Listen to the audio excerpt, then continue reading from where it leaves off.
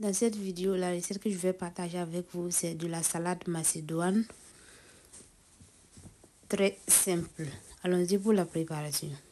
Ici, j'ai un mélange de pommes de terre, de l'haricot vert, de la carotte, du maïs doux et du petit pois. Je vais rajouter des oignons et des radis à la fin. Maintenant, je vais rajouter l'eau et couvrir et porter à l'ébullition 10 minutes. Après les 10 minutes de cuisson, je vais renverser le mélange dans la saladier.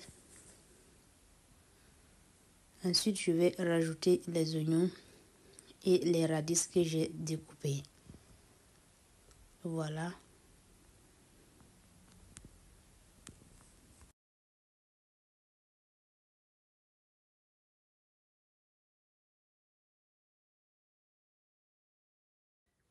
Vous aurez besoin de la mayonnaise.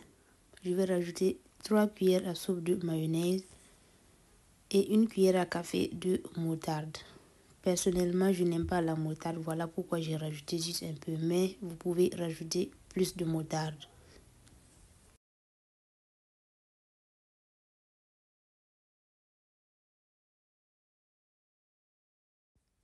Je vais assaisonner avec du poivre noir moulu, une bonne pincée de poivre noir moulu et 2 cuillères à café d'huile.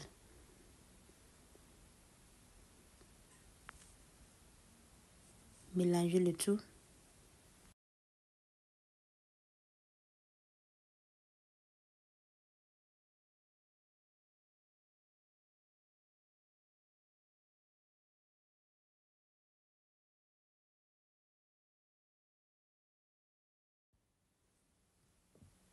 Ici, j'ai fait bouillir les œufs et les découper. Il faut regarder la vidéo attentivement comment j'ai procédé pour dresser mon assiette, le plateau.